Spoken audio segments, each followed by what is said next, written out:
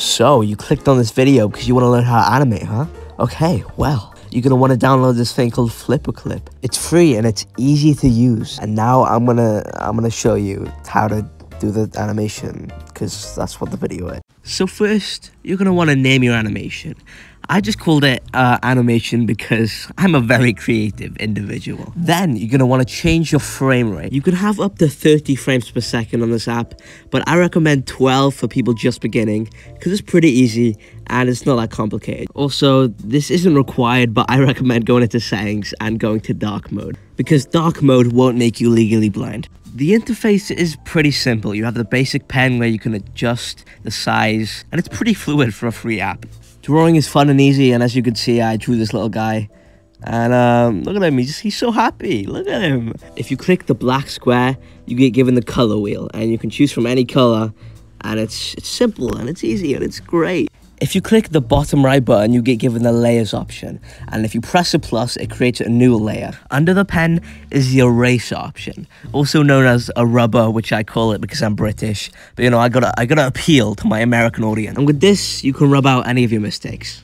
Under that is the select tool, where you can select your drawing, you know, move it around, stretch it, make it big, you know, basically do whatever you want with it. Next is the fill tool, which just fills the background or fills anything with color so you don't have to color it in by hand. And last but probably least we have uh, the text tool where you can you know write whatever you want and you have you know a ton of different fonts.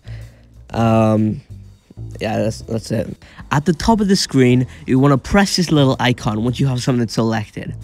And then you can press the other icon and it pastes the thing. So you can copy and paste it and make multiples of you know the same thing. And look i gave them i gave them little faces. Look at me go. And now to start the actual animation. So i've created a bunch of layers. So i have you know a lot of different you know layers. I started off by drawing a head and i made a little mistake. So i used the eraser tool and fixed it. Look i'm, a, I'm an animator guys. Then i gave him a body because it would be weird if he was just a floating head Once that is done, press the plus at the bottom of the screen and it'll create a new frame. For the next frame, you're going to want to copy and paste the head from the previous frame. For the next frame, you're going to want to slightly move the head into whatever direction is next. Next, you're going to redraw the body, but make it slightly moving to whatever the next position is going to be. Then copy and paste the head and move it to another position. The next frame, I'm going to have the guy's arm up, so like he's talking and he's expressive. So you're going to want to draw the arm. And obviously you don't have to do the same position as me, but I'm just using this as, you know, an example. And for the final frame of this movement, you're going to have to redraw the position you just did, but do it slightly moved back.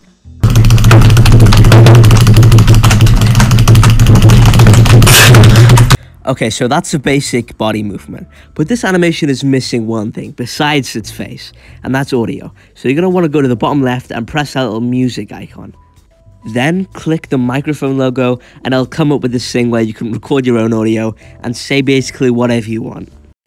I, I miss my wife. Once the audio's in there, it's better to cut out the beginning because it's probably just breathing sounds. And unless you're into that, it's probably not ideal. Here, I'm doing a little thing called lip syncing, where I sync the mouse to the things I'm saying in the video. One second, I'm gonna drink some water. But um, this deserves a whole nother tutorial, uh, and there's a bunch online that you can uh, that are available. Uh, uh, I miss my wife. Wow, perfect. I relate to this character a lot because I, in fact, miss my wife and my kids. Next, we're going to give this guy some eyes so we can see.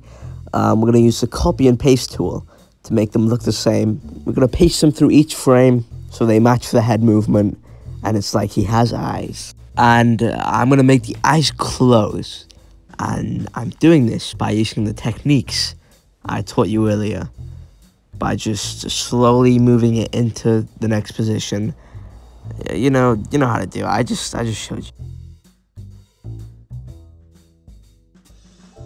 For a better onion skin, I, I would change frames after to the same as frames before and turn on colored onion skin. But now that we're done, there's a bunch of excess frames that we don't need. In order to get rid of these, press the three dots at the top and then go to frame selector and you can select the frames that you don't want and delete them.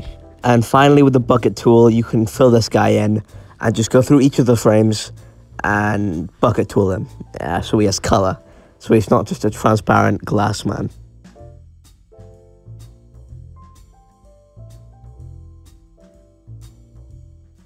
I miss my wife.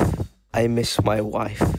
I miss my wife. Now that your animation is done, you can press the three dots and press make movie and you know do all the final changes, name it to whatever you want and save it to your photos and you're done. So yeah, that was a little tutorial on how to animate. I made one of these tutorials a year ago and I sounded like a mouse and I didn't know what I was doing. So, you know, this is an updated version and I hope it's a lot better. And I hope it helped you guys out. If it did, please subscribe. I'm desperate.